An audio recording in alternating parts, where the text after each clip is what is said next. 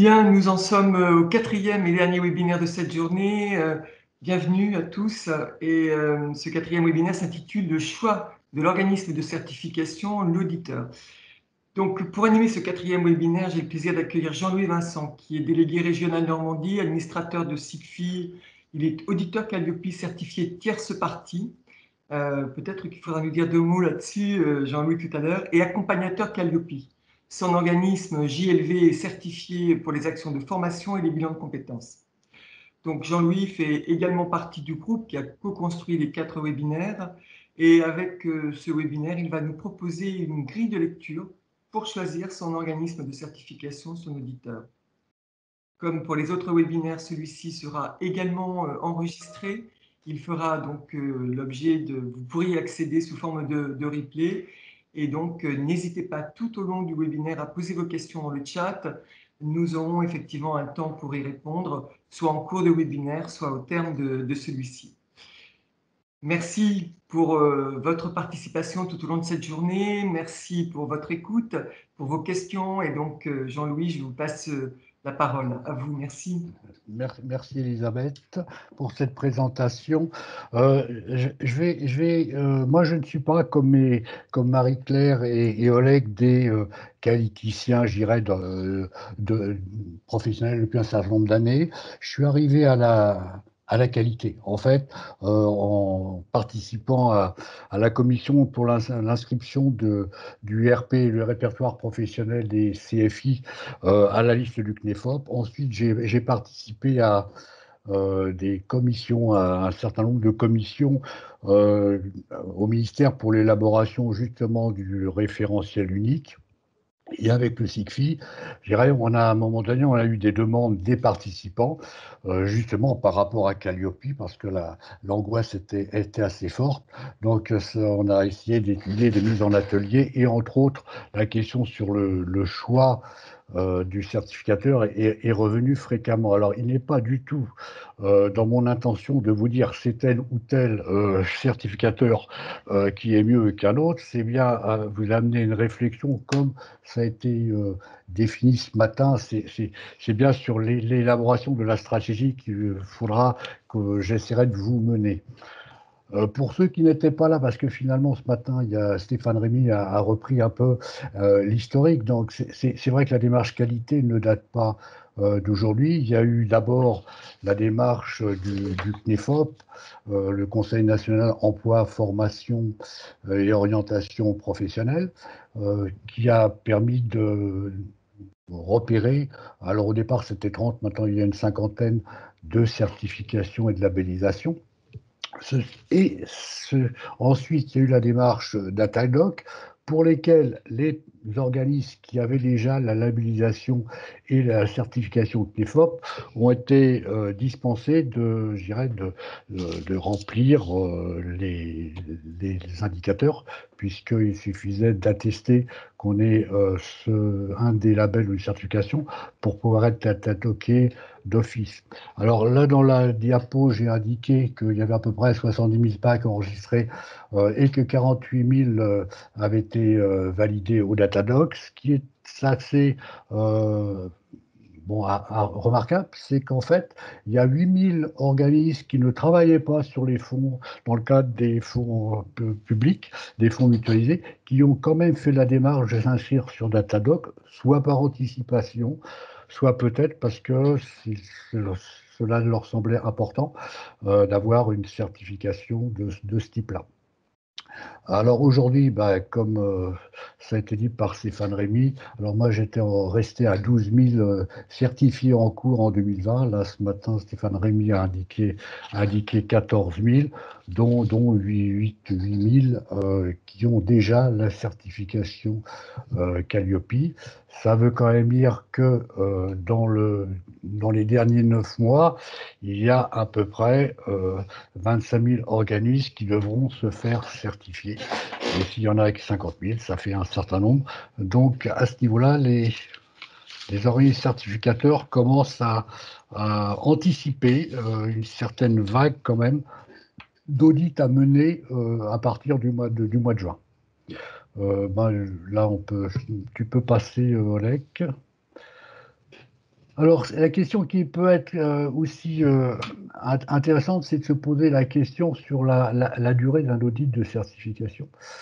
Euh, sur, le tableau à qui vous est présenté, il est indiqué justement que, en fonction de l'organisme prestataire, enfin de l'entreprise prestataire, il y, a, il y, a, deux éléments qui, sont, qui ont été pris en, en, question, c'est euh, le, CA, bon, parce que c'est et euh, le fait qu'on soit déjà euh, labellisé ou certifié par un organisme qui est mis sur la liste du CNEFOP.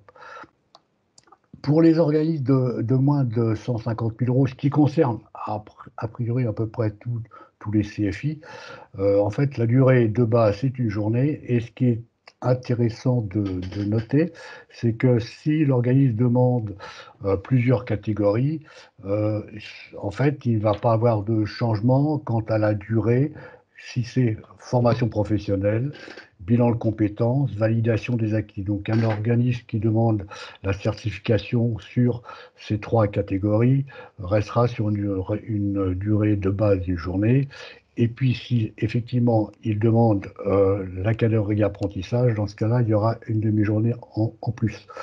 Euh, ensuite, à partir de 100, entre 150 000 et 750 000 euros, euh, c'est effectivement là un peu plus long en termes d'audit, puisque c'est une journée de base et une demi-journée par catégorie supplémentaire.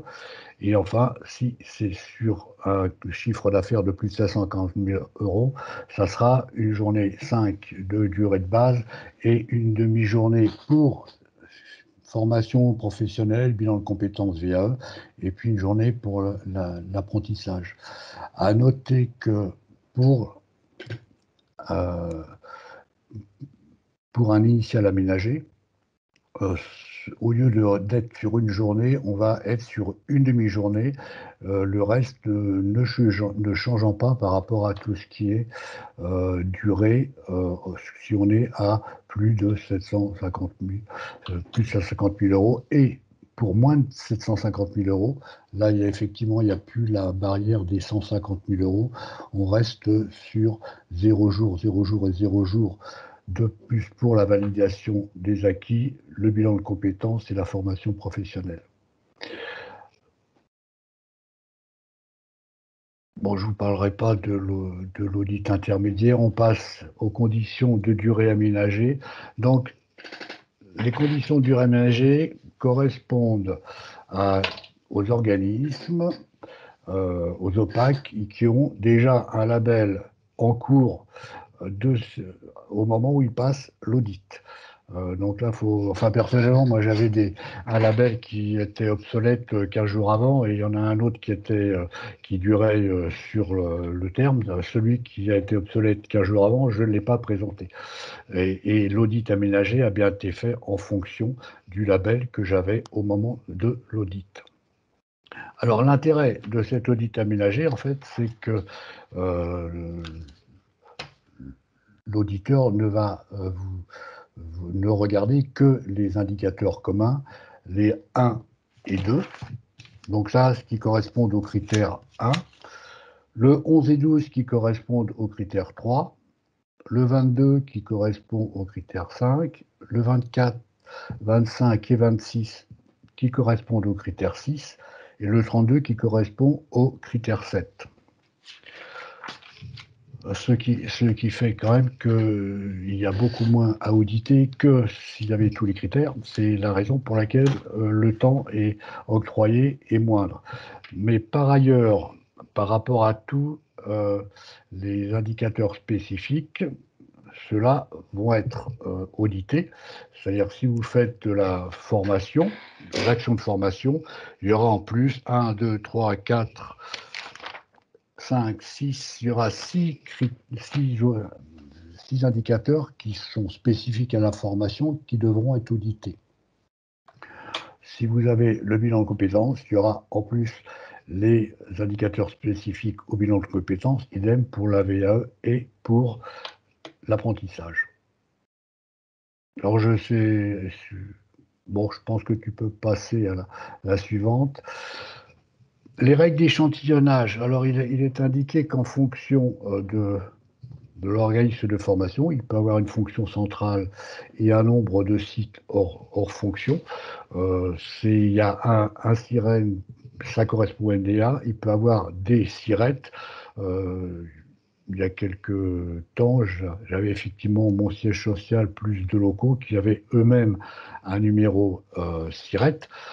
Donc, ça aurait des fonctions, des sites euh, hors fonction, mais j'étais toujours sur le même NDA.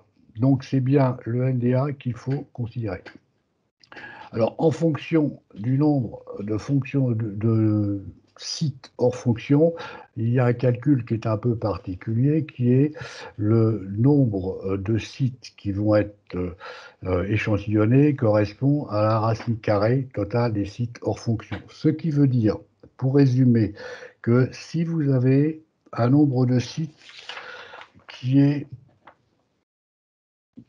hors fonction, hors fonction centrale qui est de, de 1, vous, serez, vous aurez deux sites euh, audité, ce qui correspondra à une journée et demie.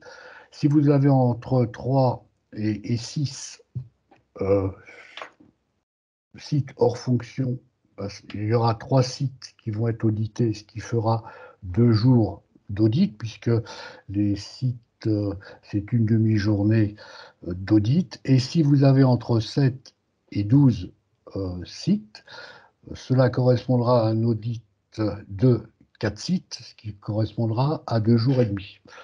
Donc, le, je dirais, comme on est sur les racines carrées, euh, il y a quand même euh, un abaissement du nombre de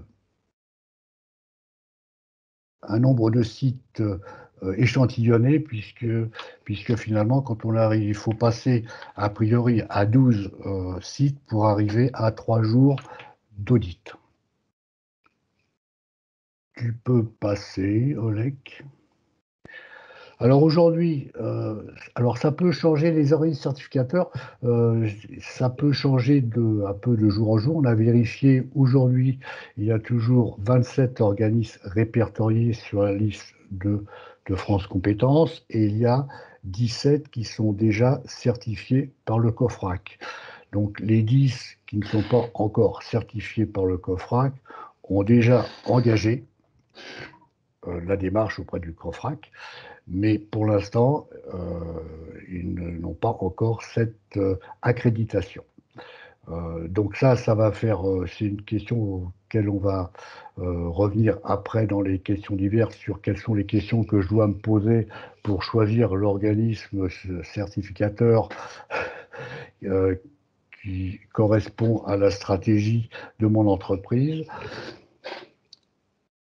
les, les, choix qu'on a, les choix des, questions ont été, je dirais, c'est un cumul des, questions qui sont remontées, que sont s'est posées euh, depuis, euh, depuis euh, un an, voire, voire deux, euh, sachant que, et ce qui a été bien défini ce matin, euh, le choix de l'organisme certificateur, ça doit être un choix stratégique. C'est effectivement les questions qu'on se pose. Il euh, n'y a, pas un bon ou un mauvais. Et de toute façon, euh, c'est le COFRAC qui a décidé d'accréditer ou pas un organisme. Donc, a priori, le travail est fait.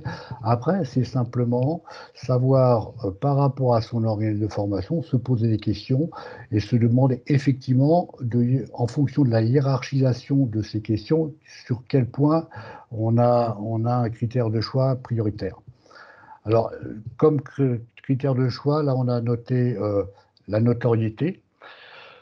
Ça peut être important euh, puisque une fois que vous êtes accrédité, vous pouvez très bien faire euh, euh, indiquer le logo de l'organisme certificateur avec votre numéro de certification.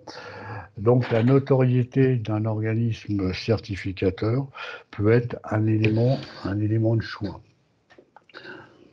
Ensuite, il y a aussi le fait que l'organisme soit déjà accrédité par le COFRAC. Euh, alors la question euh, que l'on peut se poser, c'est bah, puisque le législateur a, indiqué que les organismes pouvaient déjà, même ceux qui ne sont pas encore accrédités par le COFRAC, pouvaient déjà euh, entamer la procédure de certification. Qu'est-ce qui va se passer? Si cet organisme n'était pas, n'avait pas l'accréditation du COFRAC Dans ce cas-là, il est prévu que le dossier soit transmis à un organisme certificateur qui, lui, soit accrédité par le COFRAC. Simplement, ce transfert de dossier peut amener des frais supplémentaires.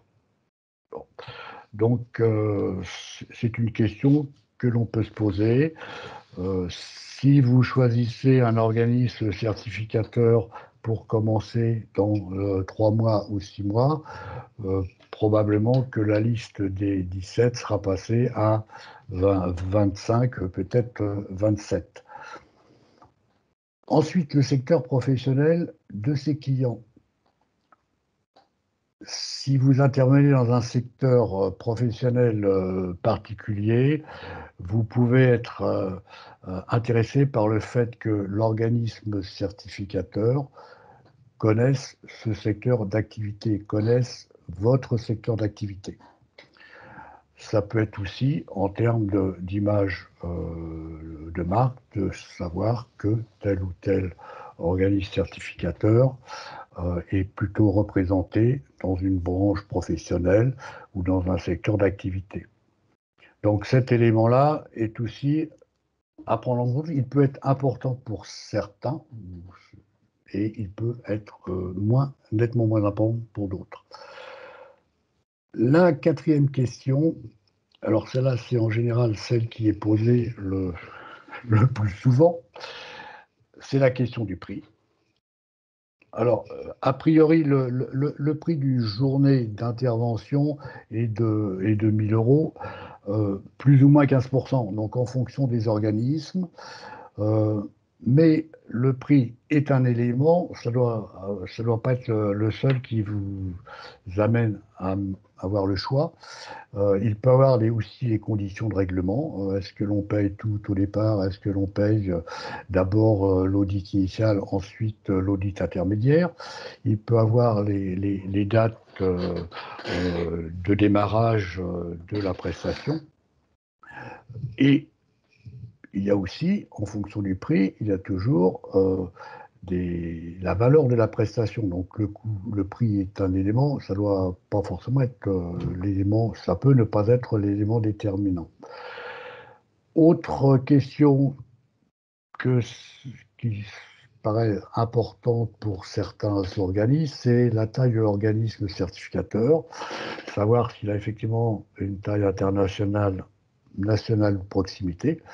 Et là, encore en fonction de l'activité de, l'organisme prestataire, ce peut être important. Si ces formations sont plutôt au niveau international, d'avoir peut-être choisi un organisme certificateur euh, qui a une taille, une dimension internationale ou nationale, ou le cas échéant, si son activité est une activité qui est effectivement une activité de proximité, peut-être que le choix d'un organisme de proximité peut être, euh, peut être intéressant. Euh, la proximité également, ça peut être une, raison d'avoir des, des, des, en termes de tarifs, euh, des frais de déplacement moindres. Ensuite, l'adaptation au type d'organisme, CFA, TPE, CFI, association. Là, on, rentre encore dans la compréhension du fonctionnement euh, de l'entreprise prestataire, qui est de, compétences, euh, il, peut, il peut être, et c'est toujours en termes un peu statistiques, il peut être euh, intéressant d'avoir un auditeur et d'avoir un organisme qui travaille avec le type d'organisme qui, est, qui est le vôtre. Euh, alors, je sais cacher après, il y a une autre question, c'est le... Oui, sinon c'est bon. Ensuite, alors, ce qu'on a remarqué maintenant, euh, puisque quand même les organismes euh, certificateurs ont, bien aménagé leur euh, mode d'information depuis, depuis quelque temps, c'est effectivement regarder l'accessibilité des renseignements, euh, voir si les échanges sont faciles, sont euh, possibles. là, en fonction des échanges par courriel ou par téléphone, savoir si les réponses, voir évaluer la rapidité des réponses, la qualité des échanges. Euh, c'est un élément qui peut être un, élément de confiance que l'on peut rechercher. Ensuite, il y a la connaissance par les auditeurs de son secteur d'activité. Alors, c'est quelque chose euh, pour moi d'assez important. Euh, mon activité principale, c'est le bilan de compétences. J'ai personnellement dans, mon choix, c'était la question qui me paraissait pour moi la plus pertinente, parce que je voulais absolument que euh, l'organisme et voir l'auditeur connaissent bien ce qu'était un centre bilan de compétences. Je pense que les CFA peuvent aussi avoir cette, euh, cette demande et des organismes qui font qui font de la VE peuvent peut-être avoir aussi le, souci d'avoir un, organisme qui connaisse la VE en fonction aussi peut-être du secteur d'activité sur lequel euh, l'organisme va effectivement proposer des formations très très très pointues. Autre question, le délai d'audit. Bon, là, ça va être, euh, ça va commencer peut-être maintenant à être un élément assez important. Euh, je pense qu'aujourd'hui, par rapport au choix que l'on peut faire et à la préparation que, que, l'on va avoir, qu'un organisme qui demande son, sa certification qu'il va avoir en termes de préparation, ça peut être effectivement important de pouvoir tester en fonction des organismes certificateurs quels sont les délais d'audit qu'ils mettre, euh, qu'ils pourront mettre en, ordre. Euh, les délais d'audit, a priori, bon, ce qui est important, c'est d'avoir sa certification euh, avant le 31 décembre. Il faut penser au niveau du délai d'audit que si l'audit présent, lors de l'audit, il est présenté euh, des non-conformités majeures ou mineures, qu'il faudra établir un plan de perfectionnement et qui sera de nouveau, qui devra être accepté par l'auditeur pour que la certification soit actée. Donc, ça veut dire qu'il faut quand même éviter d'être audité le 15 décembre 2021. Euh, parce que dans ce cas-là, si jamais il y a des, non-conformités notées, l'organisme n'aura pas le temps de proposer des modifications et des améliorations. Ensuite, l'approche commerciale en cohérence avec vos valeurs, les modalités et les modalités de réalisation. Euh, si vous contactez plusieurs euh, organismes certificateurs, vous verrez effectivement que les approches commerciales, puisque là on est quand même dans un domaine commercial, sont, sont assez différentes. Euh, il y en a qui sont plus agressives en termes commerciaux, a d'autres qui au contraire sont moins agressives et euh, alors, l'agressivité, ça peut être effectivement par rapport à des, critères dont on a parlé. Euh, ça peut être le prix, ça peut être euh, euh, des, plateformes qu'on vous, met qu'on vous met en place et auxquelles vous aurez accès, ou des formulaires qui vous permettront de faciliter un peu l'élaboration de votre dossier. Donc, ce sont des éléments qui peuvent être importants aussi à prendre en compte par rapport et à demander aux organismes certificateurs ce qu'ils peuvent effectivement, eux, vous proposer. Ensuite, il y a la rapidité, la disponibilité pour le process et la couverture géographique. Euh, alors, c'est vrai que là, depuis, euh, depuis qu'il y a confinement, et les, c'est peut-être un, problème un peu moins important puisque les audits à distance ont été renouvelés euh, en 2021. Donc le fait d'avoir un organisme qui couvre plutôt le, sud de la France c'est moins un problème aujourd'hui, sachant quand même que si le premier, l'audit initial se fait en distanciel, l'audit intermédiaire devra forcément se faire en présentiel. Donc là, peut-être que euh, les coûts euh, de déplacement pourront être un élément euh, auquel il faut penser, même si aujourd'hui, ça n'aura pas forcément un impact. J'ai eu l'occasion, moi, de contacter des organismes, effectivement, qui étaient, puisque je vous ai dit que je voulais absolument que les organismes connaissent le bilan de compétences, mais qui étaient situés dans le sud. Effectivement, euh, là, j'ai vu que, vu le, coût du déplacement que ça pouvait engendrer, ce n'était pas forcément un choix pertinent. Euh, ensuite, alors, c'est un, élément, là, je parle de la clarté du site internet. Euh, lorsque j'ai fait une liste, enfin, j'ai repris et j'ai complété la, liste des organismes certificateurs que, je, vous, montrerai après alors l'idée c'était d'être opérationnel, c'est-à-dire comme j'ai fait un certain nombre de recherches sur, sur les, organismes, enfin j'ai complété parce que ces collègues l'avaient fait avant, euh, c'était effectivement, j'ai été amené à regarder euh, certains sites internet Bon, je me suis aperçu qu'il y en avait qui étaient beaucoup plus euh, clairs que d'autres, beaucoup plus faciles euh, euh, d'accès. Donc ça, c'est peut-être aussi un élément qui vous permet de, de, faire des choix. Certains sites, certains organismes certificateurs proposent des devis en ligne, d'autres moins. Là encore, ce sont des éléments de, choix qui peuvent être plus ou moins importants suivant, que votre demande, votre compétence, votre manière de travailler. Est-ce que c'est le dernier? Alors, ça, c'est ce que c'est toutes les questions qu'on vient de poser qui s'étaient un peu, j'irais, euh, qui nous qui nous semblait importante et qu'on avait repéré, euh, entre autres au niveau du SICFI et, du RPCFI, depuis, depuis un an, un an, un an et demi.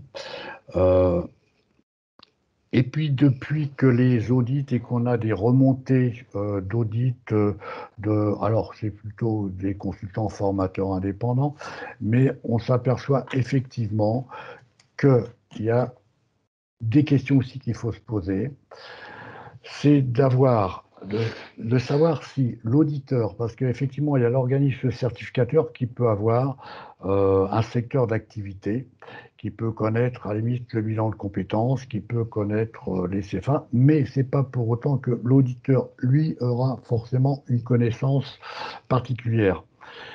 Euh, certains auditeurs travaille pour plusieurs organismes certificateurs. Euh, donc, l'auditeur a une singularité à lui, mais il n'est pas lié forcément à un organisme certificateur. Et les organismes certificateurs aujourd'hui commencent à augmenter leur équipe d'auditeurs bon, pour faire face à l'afflux qu'il y aura à partir de, juin. Euh, donc la formation des formateurs, ça j'en ai parlé un peu ce matin, est quelque chose qui reste, euh, qui reste peut-être un des, euh, points fragiles de, de, Calliope, puisque c'est quelque chose de nouveau et qu'il faut que les gens se forment. Le fait que l'auditeur connaisse le secteur et la catégorie dans laquelle euh, vous euh, intervenez semble quelque chose de réellement important pour la réussite de, euh, de l'audit. Personnellement, par rapport au, bilan de compétences, moi j'avais présélectionné 5, 5 ou 6 organismes certificateurs. Et à chacun, je leur ai demandé si effectivement ils avaient des auditeurs qui connaissaient le bilan de compétences, parce que je fais un peu de formation, mais surtout le bilan de compétences, et je ne voulais pas rater, par contre, cette certification-là. Sur les six, il y en a un ou deux qui m'ont dit non, non, on n'a pas d'auditeurs particuliers. Il y, en a, trois qui m'ont dit si, si, on a des, auditeurs euh, euh, qui connaissent bien le bilan de compétences. Euh, et, j'aurais demandé donc puisque je voulais absolument avoir un auditeur qui, soit, qui connaisse, j'aurais demandé de pouvoir l'inscrire dans le contrat. Et, là, il y a effectivement sur les, sur les trois ou quatre à qui j'ai demandé ça, il y en a trois qui m'ont dit Ah non, ça, il est impossible d'inscrire ça comme clause, de, comme clause dans le contrat. Et il y en a un qui l'a accepté. Euh, bon, partant du principe qu'on est dans une démarche quand même qualité et que ce qui est écrit peut être plus intéressant que ce qui est dit oralement, ça a été un élément important pour moi de choix. Il y a une autre un autre point là sur lequel on ne pensait pas forcément il y a, encore six mois ou un an, c'est qu'on a, nous avons des remontées, nous avons remarqué qu'un certain nombre de certificateurs demandent avant l'audit l'envoi des pièces administratives, des documents ou des éléments de preuve. Alors, il n'y a, rien d'inconvenant à ça, si, vous l'acceptez, mais il y a euh, euh, certains CFI, entre autres, ou organismes de formation qui n'ont pas forcément envie d'envoyer des pièces administratives, puisque ce n'est pas une nécessité. Donc, Là, il y a encore une question à se poser, savoir si moi, en tant qu'organisme, en tant qu'entreprise de prestataire, j'ai envie d'envoyer toutes les pièces alors que je pourrais les présenter au moment de l'audit. Est-ce que c'est quelque chose auquel j'ai envie de participer ou pas? Alors, là maintenant, je pense qu'on peut peut-être. Euh, alors, euh, avant de faire de passer là, il y a peut-être des questions qui viennent, et le cas échéant, je dirais, je vous demanderai même, là, puisque vous êtes un certain nombre quand même de, de, de, participants à ce webinaire, si parmi les questions que je vous ai présentées, il y avait des questions qui ne figuraient pas et sur lesquelles vous vouliez euh, échanger et proposer aux autres participants, euh, ça serait intéressant là qu'on puisse faire, le cas échéant, une, réflexion euh, collective. Voilà. Jean-Louis, pour l'instant, les, les, questions en fait portaient beaucoup autour du prix euh, et donc, euh, il y a eu des réponses qui ont été faites parce que visiblement, nous, nous sommes suivis par des, des collègues euh, ou des confrères qui sont auditeurs également. Donc, il y a eu pas mal d'échanges à ce sujet au niveau des, tarifs. donc, pour moi, pas de, pas de nouvelles questions par rapport à ce que vous avez évoqué. Alors, par rapport au tarif, oui, il y a quelque chose qui me. Bon, comme je suis, prestataire et je vends des prestations et je défends le fait que la qualité, parfois, a un prix, c'est vrai que les auditeurs ne sont pas forcément rémunérés de la même manière en fonction des organismes certificateurs et que, bon, peut-être qu'un un auditeur euh, bien rémunéré bon, sera peut-être plus motivé. Ça, c'est. Voilà. Euh, mais c'est vrai que la rémunération des auditeurs est un élément à la limite important, mais qui n'intéresse pas forcément euh, l'organisme qui demande sa certification. Mais ça, peut être, c'est peut-être une question d'ailleurs qu'on pourrait demander. C'est euh, peut-être une question, oui, qui pourrait être intéressante. Mais oui, alors ce que je voulais dire, c'est que plus les auditeurs sont payés et en général, plus la prestation est chère. on, avait toutefois euh, une question dans le, en amont, hein, lors des inscriptions. Il y avait eu une question que peut-être vous n'avez pas tout à fait abordée euh, dans votre exposé. Est-ce que tous les indicateurs sont étudiés pendant l'audit? Ah euh, Alors, ben, tout dépend. Là, par exemple, si, si vous êtes sur euh, non, non, tous les indicateurs, euh, mis à part pour les CFA, mais là je parle à la limite sous la. Euh, peut-être collègues et Marie-Claire pourront, pourront être plus, plus précis que moi, mais pour les CFA, a priori, tous les indicateurs sont, sont déterminants. Enfin, on doit répondre à tous les, tous les indicateurs. pour ma part, ayant eu un audit aménagé, euh, et sur le bilan de compétences et la formation, puisque j'ai demandé à être certifié sur ces deux points-là, je n'ai eu à répondre en fait, que sur les indicateurs 1, 2, le 3, normalement, c'était pour les journalistes de formation, mais comme je ne sais pas certifiant, je n'ai pas eu. Le 7, le 8, l'indicateur 11, 12, le 13, le 18, le 22, 24, 25, 26 et le 28, et le 32.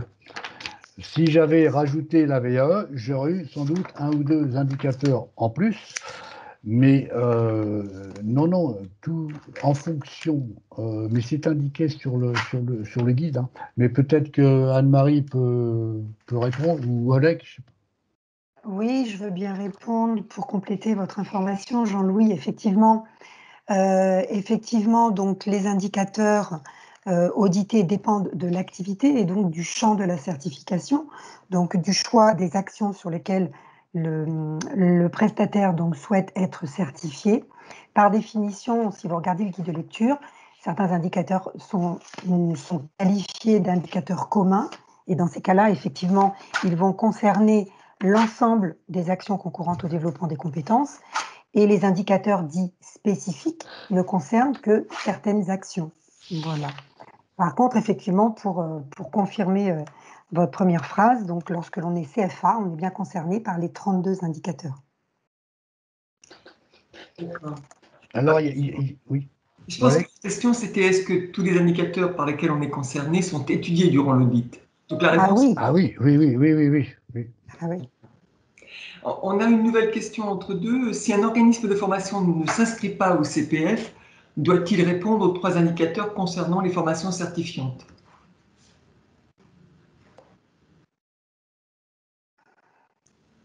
Vous voulez que je réponde ou... Oui, oui, oui.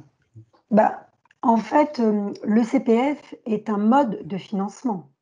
Donc, à partir du moment où le prestataire de formation propose des actions certifiantes, c'est-à-dire inscrites au RNCP ou au répertoire spécifique, et que ces formations sont inscrites à sa cadre de formation, eh bien, il est effectivement, il sera soumis aux indicateurs donc spécifiques, à savoir 3, 7 euh, et 16, si je ne m'abuse.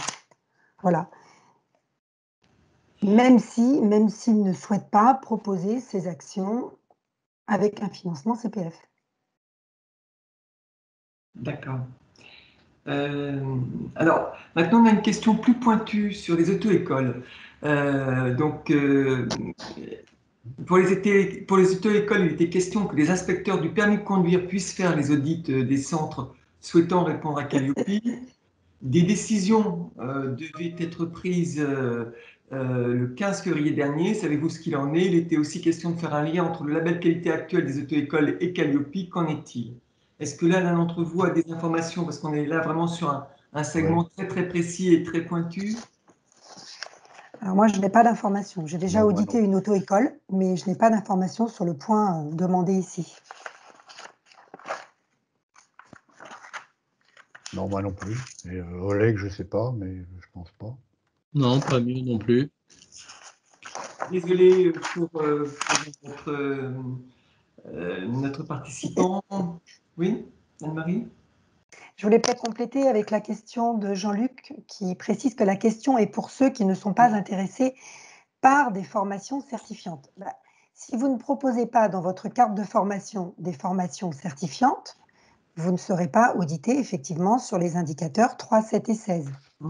Maintenant, si vous avez sur votre carte de formation des formations certifiantes bah, vous, et que votre BPF fait apparaître des formations certifiantes inscrites au RNCP ou au répertoire spécifique, vous serez audité sur ces formations et donc concerné par ces indicateurs 3, 7 et 16. D'accord. Euh, on a une autre question, mais je ne sais pas. Donc, euh, la personne dit donc, vaut-il mieux s'inscrire à la certification avec France Compétences en répertoire spécifique avant de se faire auditer?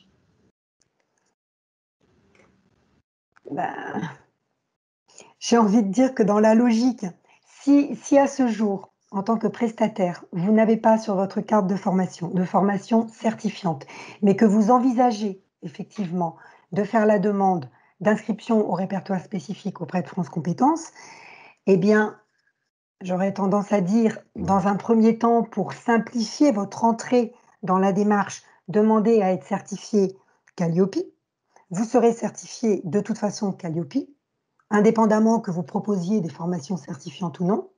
Vous ferez ensuite la demande à France Compétences pour l'inscription au répertoire spécifique.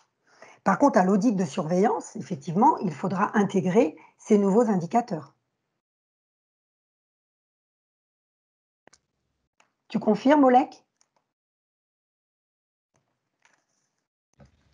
Oui, oui, je confirme, euh, je confirme l'ordre, oui, ça paraît plus, plus judicieux de commencer euh, par Calliope et puis ensuite euh, le RNCP,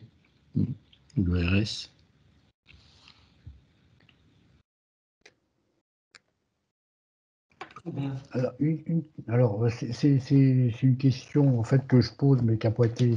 Mais je pense que sur les, les, trois webinaires précédents, on n'a peut-être pas assez insisté sur. Alors, ça dépend pas de l'organisme certificateur, mais c'est quand même sur la, la, démarche. Euh, et c'est quelque chose qui, euh, j'irais, crée une appréhension chez pas mal de personnes. C'est cette notion de non-conformité, de dire je vais être audité, je vais avoir une non-conformité. Euh, et là, Oleg et, Anne-Marie, vous me compléterez. Mais euh, je, pense qu'il faut effectivement que euh, chacun sache que le fait d'avoir une non-conformité, même majeure, le jour de l'audit, ne signifie pas que vous ne serez pas certifié.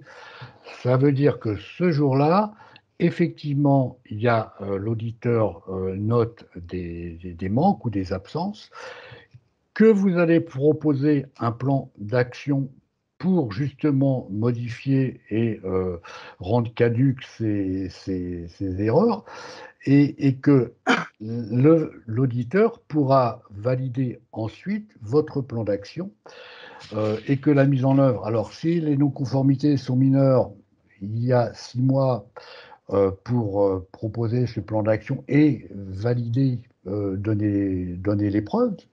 Et si c'est une non-conformité majeure, on a trois mois euh, pour euh, permettre de lever la non-conformité. c'est bien ça, Anne-Marie Olek Oui, c'est à peu près ça. Peux compléter effectivement pour un peu plus de précision, si je peux me permettre. Donc, lorsque, lorsque lorsque l'auditeur donc pose une non-conformité mineure, le, prestataire a donc, euh, a donc le temps que l'organisme certificateur lui accorde, hein. ça peut être 4 jours, 5 jours, 10 euh, jours, pour lui proposer un plan d'action et donc qui va apporter des actions correctives dans les 3 mois. Donc l'établissement doit apporter la preuve des actions correctives dans les trois mois, puisque la non-conformité majeure est bloquante pour la certification. Lorsque c'est une non-conformité mineure, le prestataire, de la même façon, doit, dans un délai qui est imposé par l'organisme certificateur, toujours variable, hein, entre 5 jours et 8 jours, on va dire, proposer à l'organisme certificateur, donc à l'auditeur, un plan d'action qu'il doit mettre en œuvre dans un délai de six mois, qu'il s'engage à mettre en œuvre dans un délai de six mois, mais la vérification de la mise en œuvre de ce plan d'action ne sera faite qu'à l'audit de surveillance. Donc l'auditeur va juger de la pertinence du plan d'action proposé pour lever, enfin, pour, euh, pour transmettre son dossier à l'expert décisionnaire de l'organisme certificateur, sachant qu'une non-conformité mineure n'est pas bloquante. À, partir, à partir de 5, ça devient bloquant. Tout à fait. À partir de 5 non-conformités mineures, on voit apparaître une non-conformité majeure. Et ça, c'est pareil, ça dépend des organismes certificateurs. Le traitement de cette non-conformité majeure dépend des organismes certificateurs. Il y en a qui acceptent que ça redevienne mineur si on enlève la cinquième, par exemple et d'autres veulent qu'on procède à, un plan d'action sur les qu'on lève à la limite les cinq ensemble. Tout à fait. Donc là, c'est peut-être euh, entre autres les questions à poser qui n'était pas dans la liste des questions, c'est comment euh, l'organisme certificateur traite justement un ensemble de cinq non-conformités mineures. Enfin, est-ce que ça, est-ce que c'est une question qui vous semble euh, mm. pertinente? Oui. Euh, est-ce que, est-ce que cinq non-conformités mineures nécessitent un audit complémentaire aussi, par exemple?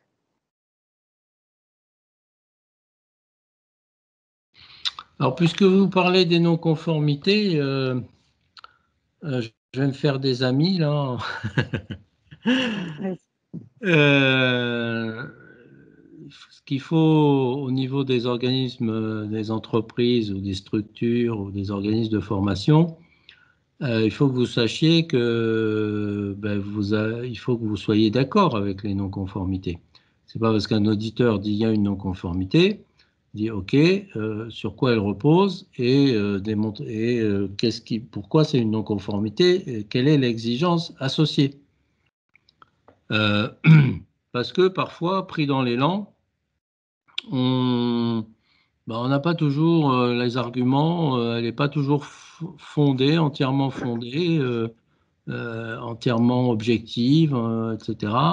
Et, du coup, s'il n'y a pas l'exigence associée, euh, si on enfreint l'exigence, euh, si on n'enfreint pas l'exigence, vraiment, bah, il n'y a pas de non-conformité. Euh, l'absence d'un élément de preuve cité dans le guide de lecture n'est pas en soi une non-conformité. Or, parfois, il y a des dérives de ce style-là. ce qui est une non-conformité, c'est la non, le non-respect de l'exigence qui est exprimée dans l'indicateur ou le non-respect du niveau attendu ou l'absence ou l'absence d'éléments de preuve. Mais après, vos éléments de preuve, ils sont ce qu'ils sont. Euh, ils sont, euh, voilà, euh, c'est pas parce qu'il n'y a pas celui qui est inscrit un des exemples du guide de lecture que vous êtes, que c'est une non-conformité. Et puis, voilà, il peut y avoir aussi une mauvaise compréhension. Hein, en, toute, en toute honnêteté, l'auditeur ou l'auditrice n'a pas compris la première l'explication que vous lui avez donnée et puis, euh, puis bah, voilà, il est parti sur une fausse piste. Ben, à, vous de, à vous de le ramener sur, sur le bon chemin, quoi. Donc, faut pas, faut pas toujours acheter content euh, les constats que nous faisons en tant qu'auditeurs. Des fois, on se trompe. Voilà. Il faut avoir. Euh, et Restez vigilant. Restez vigilant. Et Jean-Louis parlait tout à l'heure effectivement d'explicitation. C'est dans l'échange effectivement avec l'auditeur que l'auditeur va, va, mieux percevoir effectivement votre activité, votre raisonnement également, et que et qu'il vous conduira peut-être, comme je le disais ce matin, à penser à des éléments preuves auxquels vous n'aviez pas songé au préalable, mais qui sont également des éléments preuves. Voilà, donc on est vraiment dans l'échange, hein, et il faut que chacun enrichisse la pensée de l'autre. Alors, la qualité de l'auditeur est, primordiale. Euh, L'organisme propose un auditeur à, l'organisme qui veut se faire certifier. Celui-ci peut refuser mmh. une fois, euh, euh, pas, pas, deux. Donc, ce qui veut dire, dans le cas, par exemple, qui me, que j'ai pris mon exemple, c'est qu'il fallait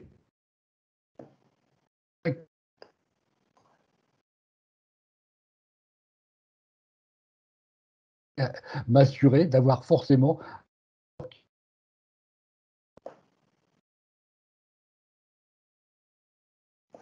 On ne vous entend plus, Jean-Louis. Oui, Jean-Louis, il, y, a un problème de, de, la bande passante, je pense, euh, fait des siennes, et donc de temps en temps, il y a des arrêts sur image, il y a des coupures. Euh, peut-être que vous pourriez arrêter votre, votre vidéo, peut-être que ça aiderait un petit peu, Jean-Louis. Je veux bien en profiter pour. Euh, Allez-y, Anne-Marie, si vous avez quelque chose à rajouter. Puis Jean-Louis pourra rallumer son micro après. Oui, je vois passer un commentaire. Effectivement, effectivement le, le rôle de l'auditeur n'est pas d'aller euh, à la chasse ou à la pêche à la non-conformité. Hein. D'emblée, l'auditeur, il va à la recherche de la conformité et de la preuve qui, effectivement, lui permettra de poser un constat de conformité. Donc, euh, Tant mieux, bien sûr, si les audits se terminent sans non-conformité. Et ça arrive quand même assez souvent. Ah oui, oui. Affirmatif. Affirmatif. oui, j'ajoute qu'on n'a pas de prime hein, au nombre de non-conformités. Hein, donc.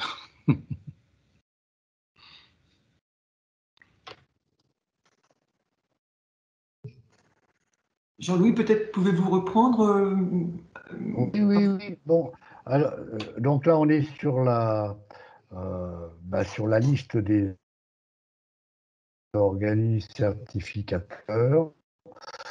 Donc là, au niveau de la, lecture, ah, pardon, je ne sais pas ce qui s'est passé là. Au niveau de la lecture, il y a différentes couleurs. Donc, on a essayé de repérer à titre indicatif les organismes euh, en, rouge qui étaient euh, déjà des certificateurs de la formation professionnelle avant 1900, 2014, euh, pas 1900, non, d'avant 2014. Ensuite, les organismes certificateurs qui étaient sur la liste, inscrits sur la liste du CNEFOP, et ensuite, en bleu, les ont déjà accrédités par Calliope euh, d'hier ou d'avant-hier.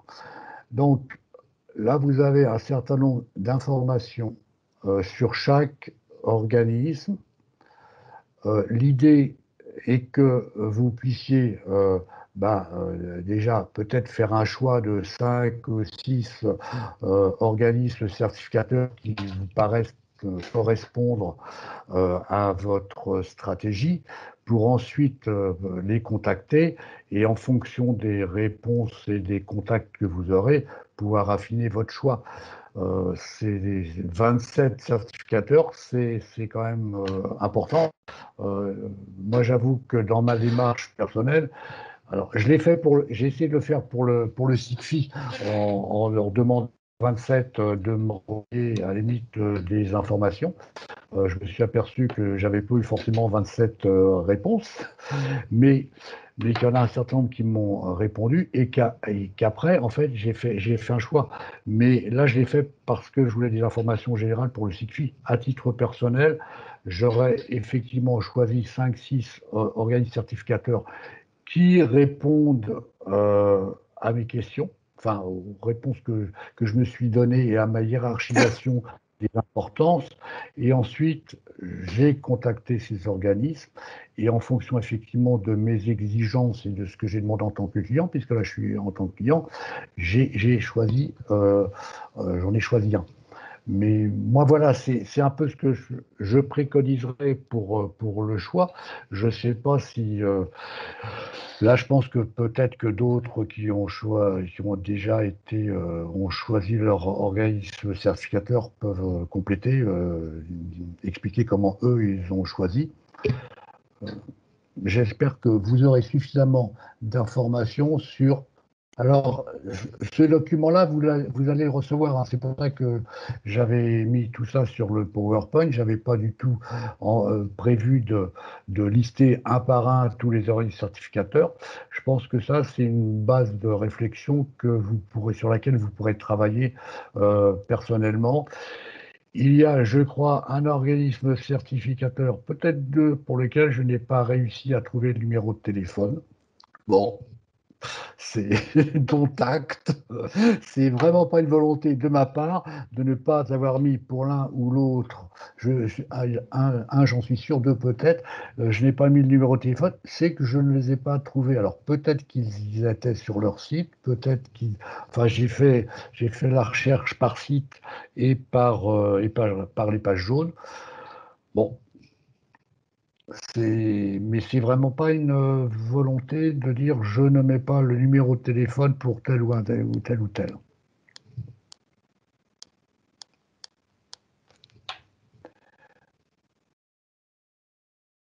Alors par contre, je, oui, par rapport à la liste, il y a des questions. Euh, il y a des coupures de réseau, j'ai l'impression. Ça y est, hein, c'est revenu, il n'y a pas de souci. C'est revenu. Ah oui, tout Y a-t-il, euh, je vois pas des questions en particulier qui viennent d'arriver. La qualité de l'auditeur est là. Effectivement, que sa formation, son savoir-faire, coût se paye, évidemment. Il n'y a pas de nouvelles euh, questions? Non. Non, je pense qu'on est. Il n'y a, pas, a pas de nouvelles remarques? il, peut y avoir des questions aussi des remarques. Est-ce que le cas échéant, il y a parmi les participants des personnes qui se disent tiens, il y a une question euh, qu'on pourrait, que je pourrais poser qui n'a pas été mise dans la liste, parce qu'à la limite, ça me permettra euh, d'incrémenter la liste des questions pour une prochaine présentation. Mais. Euh, Jean-Louis, il y a une question pendant que. Est-ce que vous avez des retours sur les audits dans le cadre de la création d'entreprise? Personnellement, non, non, non, non. Euh, création d'entreprise, non, je n'en ai pas. Je n'ai pas d'informations par rapport à ça. Euh, c'est-à-dire, c'est des, organismes qui, se créent et qui rentrent dans la démarche euh, Calliope sans avoir effectivement. Non, c'est une entrée spécifique CPF euh, euh, tu formes euh, des créateurs d'entreprises ah sans avoir besoin que ta formation soit au RNCP. Donc, pour l'instant, avec le Datadoc, tu peux monter une formation créateur d'entreprise. Alors au début, c'était un code, je crois qu'ils appellent ça le code 213 ou je sais pas quoi, quelque chose comme ça, peu importe mais c'était une porte d'entrée où tu pouvais, en, utilisant cette porte, tu pouvais vendre un peu, un peu beaucoup de choses euh, plus ou moins éloignées de la création d'entreprise ou plus ou moins proches et euh, bénéficier de l'accès CPF. Donc là, récemment, ils ont resserré les consignes et euh, tu, bon, il y a un cahier des charges qui a été renforcé et qui, du coup, moi, j'ai pas audité avec Calliope, mais bon, voilà, je pense que ce cahier des charges euh, va être euh, attaché symboliquement ou officieusement euh, à l'audit Calliope de, ces prestations-là. C'est-à-dire qu'il faut, effectivement respecter le fait que on fait de la formation à la création d'entreprise et non pas les abus, c'était création ou perfectionnement du métier. Par exemple, si on faisait une création d'entreprise dans la menuiserie, il ne s'agit pas de former des gens à la menuiserie. C'est pas ça. Il s'agit de former des gens à la création d'une entreprise de, de, menuiserie, la gestion d'une entreprise de menuiserie. Et le, voilà, on suppose, c'est leur problème, le cœur de métier, c'est pas le sujet de cette formation.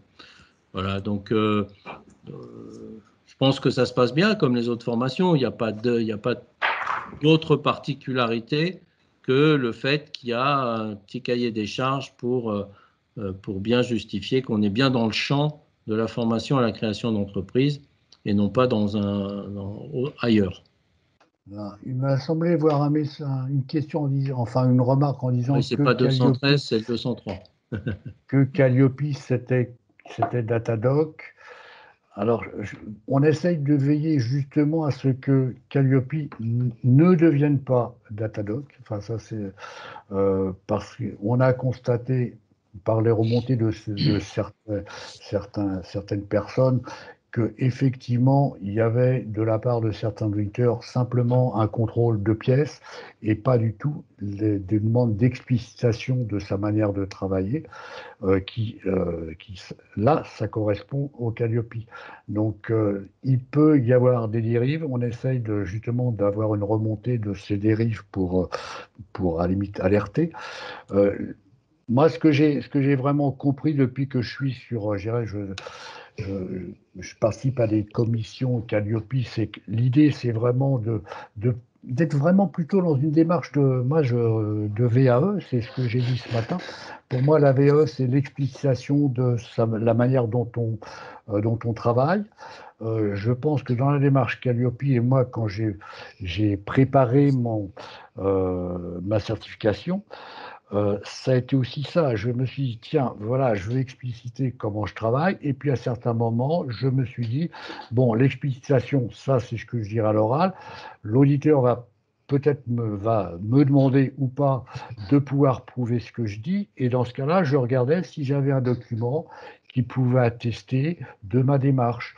Euh, alors, des, des, des, fois, ça pose effectivement des, des, des, des problèmes, c'est pas forcément évident.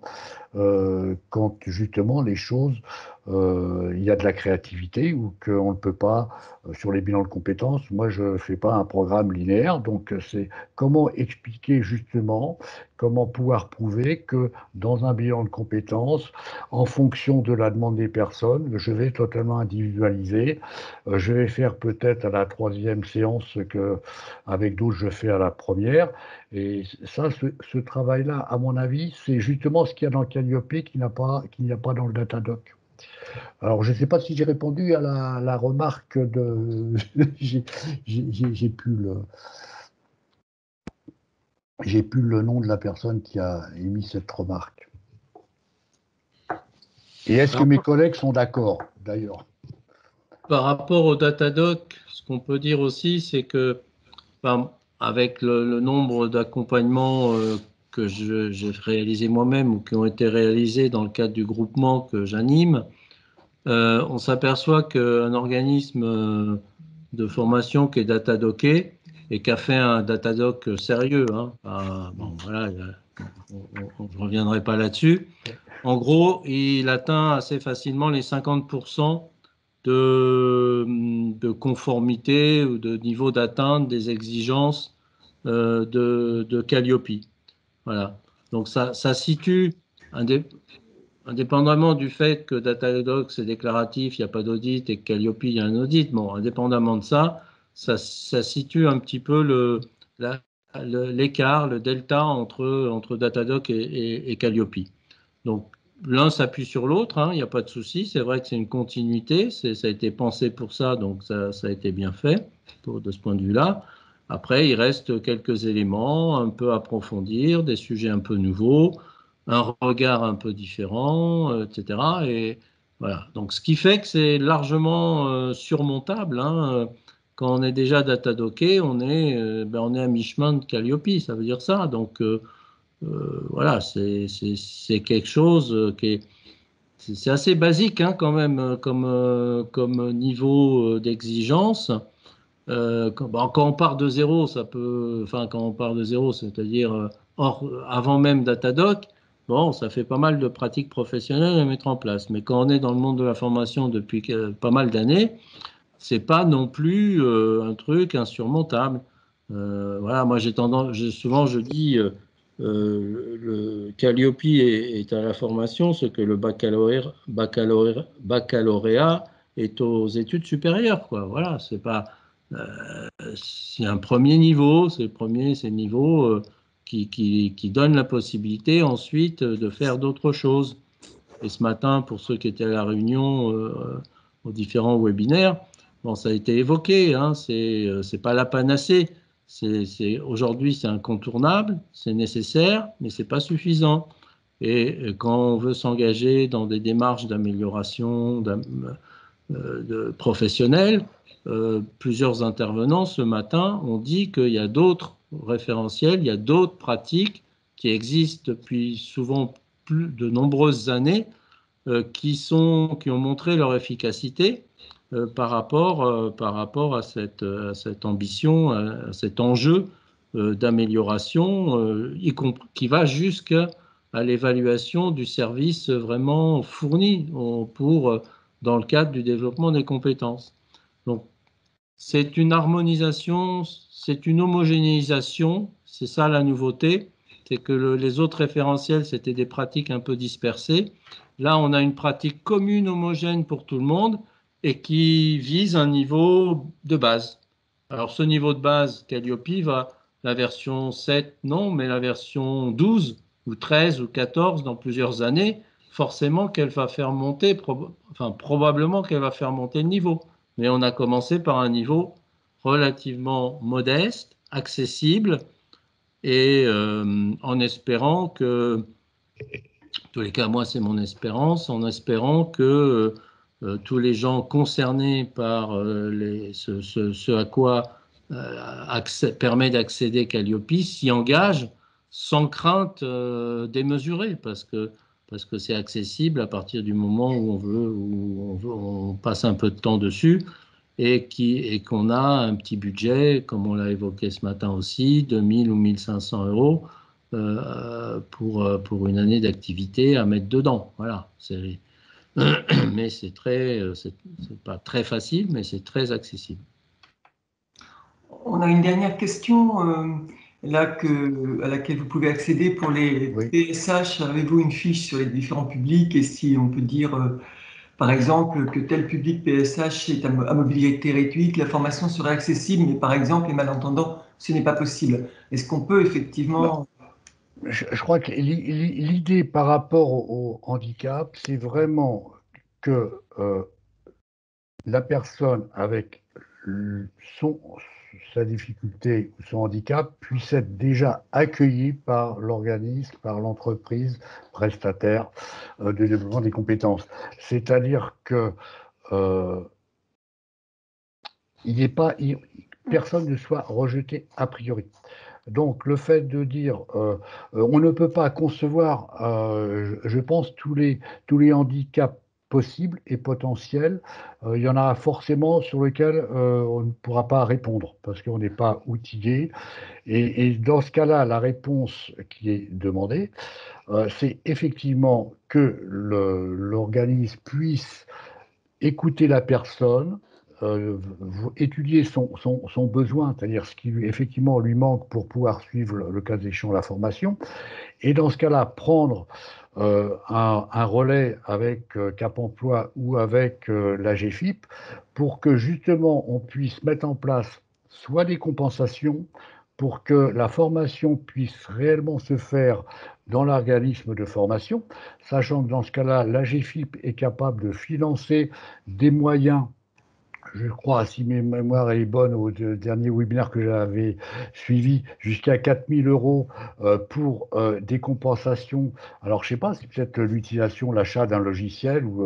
Euh, donc là, l'AGFIP peut proposer des moyens à l'organisme pour que la formation se déroule en interne, ou bien, s'il n'y a pas de solution, ben, la GFIP ou le Cap Emploi proposera de relayer la demande auprès d'un organisme qui sera susceptible d'accueillir la personne. Donc l'idée, moi, ce que j'ai compris, c'est vraiment le fait que quelqu'un ne doit pas se dire, et on ne doit pas dire à quelqu'un, vous ne pouvez pas rentrer sur la formation parce que. Bon. Mais c'est le recevoir, l'accueillir, et après, on étudie avec lui, après avoir euh, étudié son besoin spécifique. Ok, euh, Jean-Louis, Oleg et Anne-Marie, euh, nous, sommes, nous arrivons au terme de cette journée. Moi, je voudrais vous remercier tous les trois. Jean-Louis, je voudrais vous remercier pour ce webinaire que vous venez d'animer. En mesure, vous parliez tout à l'heure de travail de formalisation, on mesure le travail de formalisation que vous avez fait là pour nous, nous dire, pas nous dire quel certificateur il fallait retenir, mais quelles questions il fallait se poser pour choisir son certificateur. Donc merci de ce travail que vous avez fait et merci de cette présentation que vous avez fait tous les trois. Et, euh, donc effectivement, notre enjeu aujourd'hui, euh, c'était euh, de vous accompagner tous, tous ceux qui ne sont pas encore certifiés, d'abord pour savoir si vous aviez envie, besoin d'être certifié Calliope. deuxièmement, pour les webinaires 2 et 3, pour voir, euh, pour comprendre euh, la lecture que peut avoir un, auditeur euh, du référentiel national et, comment aborder finalement les, indicateurs et comment y répondre au mieux. Et puis maintenant, avec vous, Jean-Louis, on vient de voir effectivement quelle grille de lecture retenir pour choisir son certificateur. Nous espérons, au terme de cette journée, vous avoir fourni des éléments de compréhension et de choix et de décision euh, pour, euh, pour euh, continuer par rapport à cette démarche et, mesurer ce ce qu'il vous reste à faire. voilà. Merci à tous pour votre écoute. J'ai mis un lien pour l'évaluation de la journée. Ne m'en veuillez pas, on vous l'enverra sans doute sous une autre modalité parce qu'évidemment en fin de journée, euh, eh bien, euh, le quatrième webinaire intéressait une partie du public, mais pas tous. Donc, euh, on l'enverra, je pense, aussi à tout le monde pour que tous ceux qui voudraient y répondre puissent le faire. Et eh bien, écoutez, il, nous il, me reste à vous souhaiter un bon courage à, à, tous dans cette démarche. Et en tout cas, le message, je crois, qui était fort, c'était de dire cette démarche, peut-être qu'elle est contraignante, et même certainement elle l'est, mais elle est accessible, y compris pour des petites structures. Je crois que c'était le message que voulaient nous faire passer aujourd'hui les différents acteurs et les différents intervenants. Donc voilà, allons-y pour ceux qui veulent en tout cas. Bonne fin de journée à tous. Merci. Merci Isabelle. Au revoir et merci Au revoir à, tous. Merci Oleg, merci Anne-Marie, merci Jean-Louis. Au revoir, merci. Au revoir.